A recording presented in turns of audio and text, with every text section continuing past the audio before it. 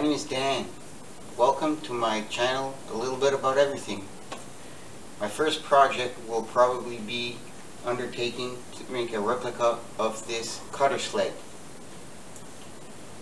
It was built around 1900s and still in good shape, but I'm going to be making a replica of this project here.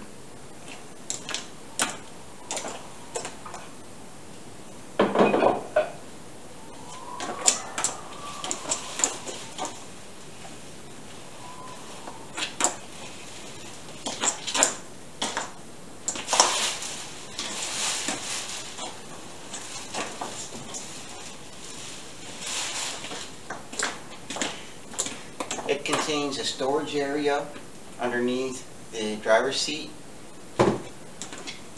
It has a cushioned leather seat.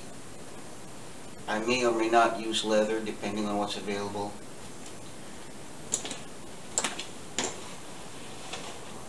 As you can see, it contains some wood bending. I'll have to steam some of this wood.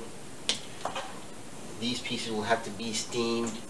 I'll have to do a little bit of drilling and a little bit of welding, MIG welding that is. And um, basically I'll be making a copy. So let's get started.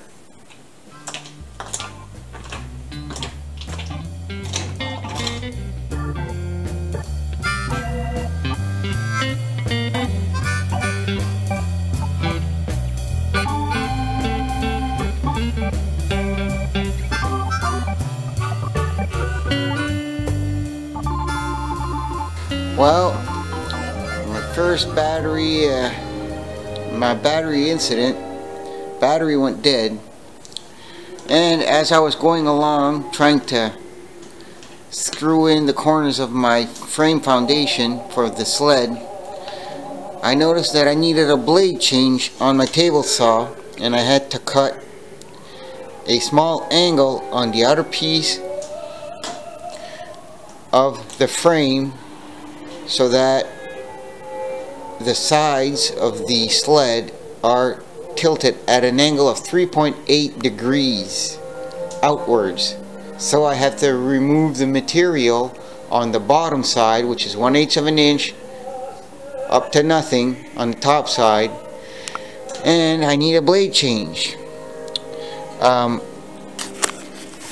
as far as safety on a table saw, there's such a thing as kickback and that happens when the piece of wood coming out the back side of the blade actually touches together, grabs the, the blade, and it gets thrown out the front side where the operator is standing. Which, unfortunately, it happened to me. But on this saw, this particular saw, you can buy what is called a blade knife. And this is installed on the back side of the blade where it prevents those pieces of wood from touching together and grabbing on the back side of the blade which eventually kicks it out the front side where the operator is standing. So right now I'm in the middle of a blade change I'm going to blow out well my battery ran out and um, I just noticed now so lost I lost a lot of uh, footage but I was uh, I had to put a bevel on the frame because the um,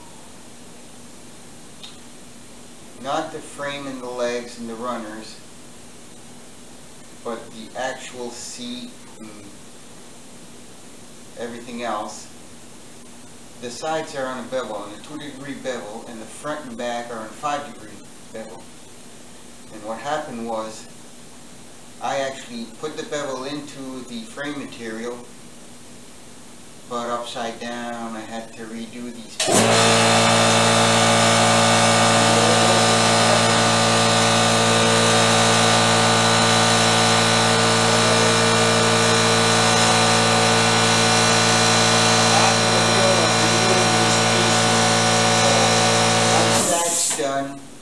resume fastening those pieces together and the bottom.